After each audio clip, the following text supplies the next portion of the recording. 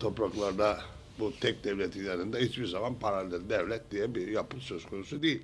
Gümrük ve Ticaret Bakanı Hayati Yazıcı memleketi Rize'de gazetecilerle bir araya geldi. Bakan Yazıcı'ya rüşvet ve yolsuzluk operasyonunun ardından iddia edilen paralel devlet sorusu yöneltildi. Devletin yönet- yönetim şeması içerisinde belki e, bazılarının, bazı kişilerin paralel uygulamalar içerisine girdiklerini söyleyenler var.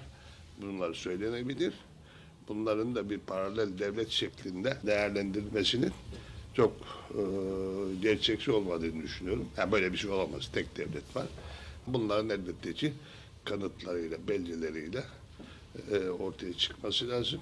Hizmet hareketine yönelik paralel devlet iddialarına Van'daki sivil toplum kuruluşu temsilcileri de tepki gösterdi. Bugün hizmet hareketini paralel devlet, çete, virüs, in, gizli örgüt, haşhaşı gibi iftiralarla hiçbir bilgi, belge ortaya koymadan, hiçbir hukuki temele dayanmadan yaftala- yaftalanıyor.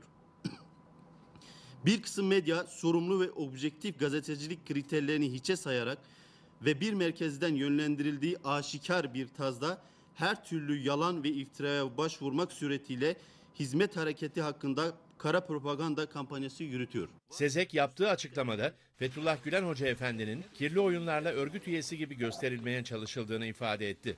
Anadolu insanının himmet ve gayretleriyle büyükelçiliğimizin bulunmadığı ülkelerde dahi ülkemizi en güzel şekilde temsil eden, ulaştıkları her insana ülkemizi ve milletimizi sev- sevdiren, yurt dışındaki okullarda bu süreçte yıpratılmak isteniyor. Devletimizin büyükelçilerine bulundukları her ülkede birer gönüllü kültür elçisi olan bu öğretmenlerimizi örgüt üyesi gibi gösterme görevi veriliyor. Allah rızasına kilitlenmiş bir ilim ve fikir insanı olan, hayatta herhangi bir makam, mevki, maddi çıkar ve siyasi hedef içinde olmayan, dolayısıyla savaşla, tuzakla, operasyonlarla, kirli oyunlarla hiçbir ilgisi bulunmayan muhterem Fethullah Gülen Hoca Efendi örgüt lideri olarak gösterilmeye çalışılıyor.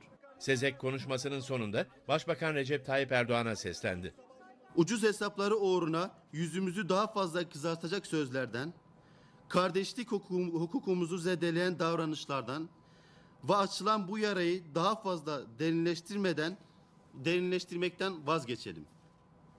Şimdiye kadar hizmet hareketi için her platformda desteklerini ve takdirlerini ifade, ette- ifade etmekte olan Sayın Başbakan'ın bir an önce bu tutumundan vazgeçmesini beklemekteyiz.